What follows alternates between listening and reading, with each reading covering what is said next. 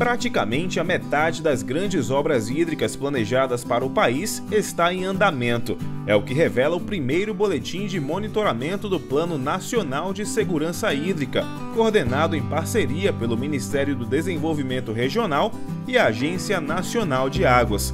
O plano foi lançado em abril de 2019, apresentando uma série de intervenções que vão promover a geração de emprego e renda a partir da garantia de água para abastecimento humano e para atividades produtivas. As iniciativas também visam a redução de riscos ligados às secas e às cheias.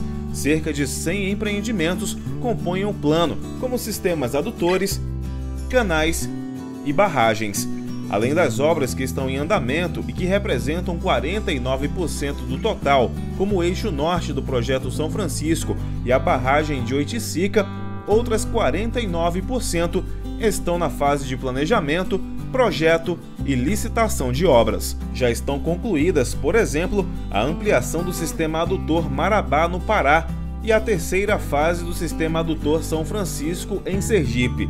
Também foram finalizados os projetos do ramal Piancó e do ramal Cariri, ambos na Paraíba.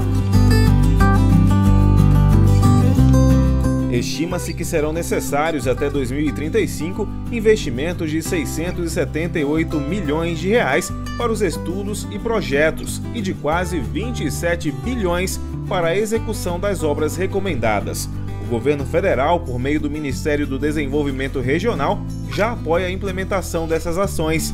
Desde 2019, foram investidos quase 2 bilhões de reais em obras de infraestrutura hídrica, que vão transformar a realidade de milhões de brasileiros.